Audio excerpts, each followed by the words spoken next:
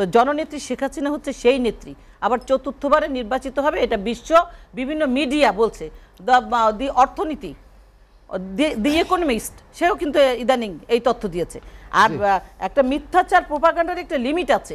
মন গড়া কতগুলো কথা যে কোনো একটি প্রকল্প। না আরে কুইক রেন্টাল বিদ্যুৎটা করেছিলেন বলেই স্বল্প মেয়াদী প্রকল্পগুলো করেছিলেন বলেই ডাক্তার সায়ন্ত টকশোতে বসে কথা বলার সুযোগ পেয়েছেন। বাংলাদেশটা ডিজিটাল?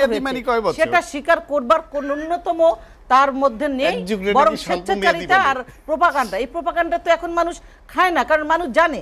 আমি যে কথাগুলো বলছি সেই কথাগুলো মানুষ এই গুগল চিপলেই পেয়ে যাচ্ছে।